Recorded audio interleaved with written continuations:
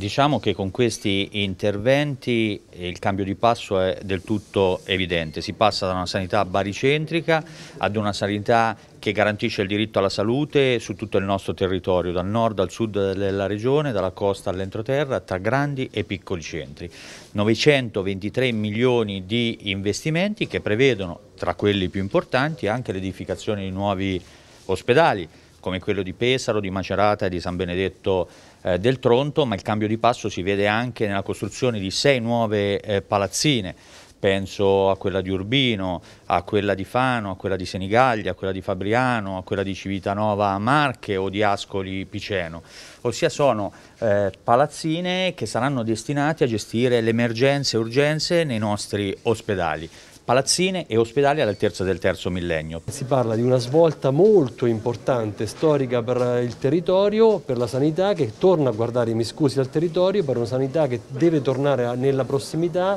e soprattutto un'organizzazione che oggi guarda gli aspetti infrastrutturali e soprattutto anche strutturali in termini di dotazioni strutturali per far sì che la sanità possa essere all'altezza della sfida ma deve anche guardare un input molto importante a recuperare quella capacità di saper costruire una risposta anche in termini di professionalità che viene determinata dal numero enorme di professionisti che stanno andando verso l'età pensionabile a fronte della quale non c'è ancora un numero di professionisti che deve supportare eh, questo ricambio generazionale. Le case della comunità sono un'evoluzione moderna delle case della salute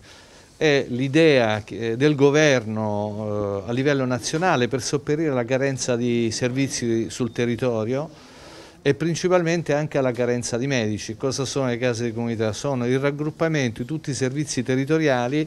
composti dai medici di medicina generale, dai pediatri di libera scelta, dalle ADI, dagli infermieri di famiglia, dai sociologi, psicologi e così via. I criteri sono stati quelli di mettere accanto a ogni ospedale per acuto possibilmente un ospedale di comunità e delle case di comunità.